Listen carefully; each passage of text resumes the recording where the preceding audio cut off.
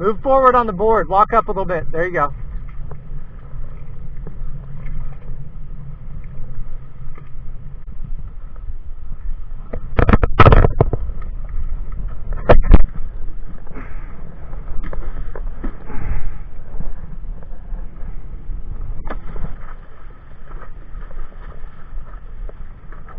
Head down a little bit.